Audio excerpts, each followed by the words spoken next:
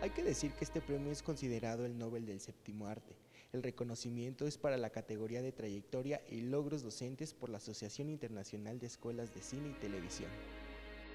La ENAC de la UNAM es miembro de esta asociación desde 1973. Actualmente está integrada por más de 180 escuelas de cine, televisión y medios audiovisuales de 65 países de los cinco continentes. Lo veo como un logro de la universidad, lo veo como un logro de trabajo conjunto de profesores, de alumnos, de administrativos que durante tantos años, cincuenta y tantos años, hemos realmente construido esta escuela. El realizador Juan Mora Catlet ha sido profesor de cineastas como Alfonso Cuarón, Emanuel Lubezki y Ernesto Contreras. No será una verdadera pasión. Yo creo que es uno de los ingredientes básicos, ¿no? esta necesidad, esta pasión. Por otro lado, es una conciencia social, porque es una universidad del pueblo. El pueblo es el que paga la formación. ¿Y por qué paga una formación cineastas?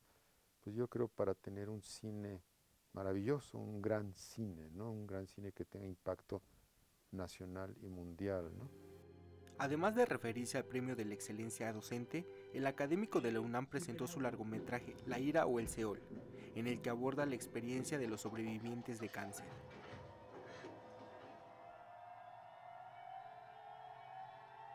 que es una película que hice a partir de mi experiencia como sobreviviente de un cáncer supuestamente terminal ya hace 20 años.